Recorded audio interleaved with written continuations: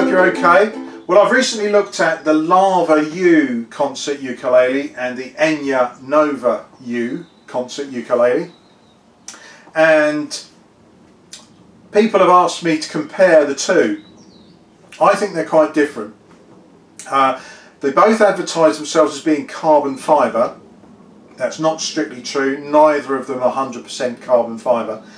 But they do have properties that set them apart from things like the ABS uh, Explore type uh, and the Waterman ukuleles that are just pure plastic. Um, they're they're yeah better than those I think, but it's um, it's worth comparing because they both come uh, with different accessories and things and they have different properties. So we will compare them. First of all the Enya. Now it's worth talking about what they come with because the Enya comes with this case which is a sort of semi-hard uh, it's not like a pod case it's it's actually reasonably tough. I'm making it ring inside. Uh, but it's not it's not a hard case uh, and it has these two zips which I have to say are not simple. Um, and you have to open them fully otherwise the lid doesn't open properly. So I'm not that enamoured with the case. I haven't been using this case at all because it's just too much of a faff. Uh, the ukulele comes inside. Now the accessories that this comes with are uh, a strap. Uh, it already comes with strap buttons fitted. You get a little accessory bag that you could put a tuner in I suppose. Uh, it comes with a, a capo. If you're that way inclined, some spare strings and USB cable. So you get a few bits and pieces with it. Uh, the strings as fitted as standard are I believe polycarbonate. They weren't for me. I've, I've changed them for the Nui Nui black tied strings which I prefer, a bit softer. Um, it's a half thickness ukulele, so technically you'd call it a travel ukulele. We plug in the USB on the bottom to charge it. The battery's inside and, and sealed.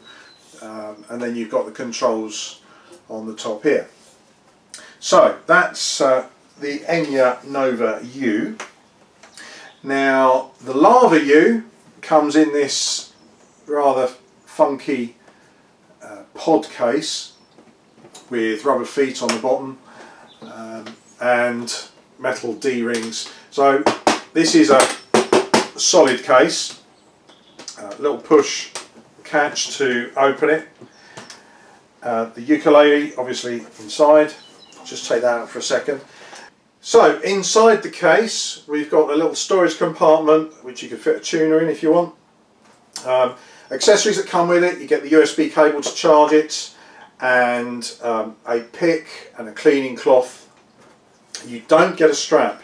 Um, now that's worth looking at because the strap on the Lava U is a proprietary strap and they're not available yet so that's a little bit of an oversight. So at the moment if you want to use this with a strap you'll have to fit a couple of strap buttons which um, you know it's it's a, a plastic carbon fibre mix.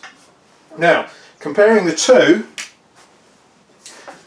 starts to get interesting when we actually look at the ukuleles themselves. So both ukuleles are uh, concert size and slightly different uh, thicknesses as you can see there. This is, is getting on for a standard concert sized thickness. Both are available in acoustic or electroacoustic with effects built in and both have little speakers inside.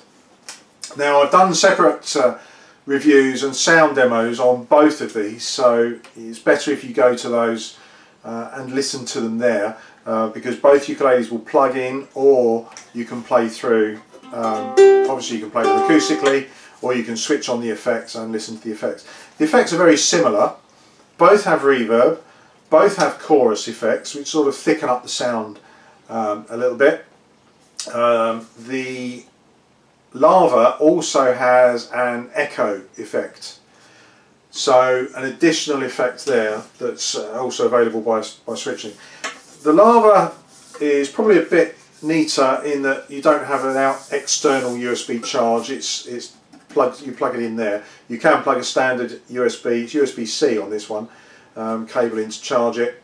Uh, they provide you a nice little right angle one to uh, to go in and charge. So you can do that. Obviously, appearances. That's up to you. Uh, which one you prefer. Both are uh, arguably acquired tastes. Um, depends what you like. So, as far as handling goes, they both have radius fretboards, but um, the Enya has uh, the fretboard is made out of the carbon fibre and plastic mix, uh, whereas you have got metal frets on the lava. Uh, as I said, both radiused. Composition wise, this, the Enya, is 30% uh, carbon fibre, whereas the lava, they tell me that the majority is carbon fibre. So that implies that it's more than 50%. And I have to say that um, in terms of feel, the lava does feel more solid to me. So uh, feels much more robust. The finish on it is is nice. So this has a, a slightly more matte uh, feel to it, whereas this is quite smooth. Um, again, that's going to be preference. Tuners wise, well, there they couldn't be more different. They're very ordinary geared tuners on here. These are geared tuners, but they are so silky smooth. They're beautiful tuners.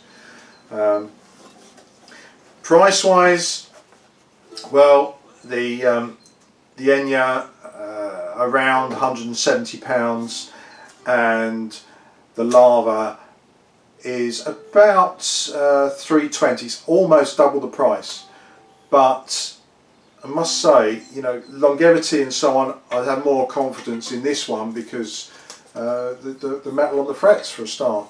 Handling wise, this does does handle better. I've left the polycarbonate strings on this for now. Uh, both, as I say, come with polycarbonate strings to start with. I believe they're polycarbonate. Um, I was playing this probably four hours or so yesterday. Um, my fingers are a little bit sore today um, because I'm not used to these the harder strings. I'm, I'm, much more used to these black tied strings which are softer. But um, there you go, that's the two. So uh, sound wise I think there's a little bit more depth to the lava um, than the Enya. I'll just um,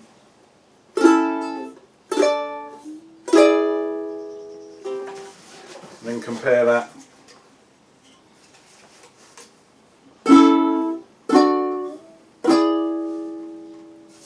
So a bigger sound uh, certainly from, from the lava and um, then you can add the effects and so on. But on both of them the effects, although there's little speakers inside, the effects don't noticeably add any volume um, but you will hear the effects through the speaker. Both are much more effective plugged in and uh, I suggest you go and have a look at my uh, sound demo uh, videos that I've done. So I've reviewed both ukuleles separately and given you sound demos as well. So I hope that helps. Um, go and have a look at those other videos and uh, make your choice. Cheers!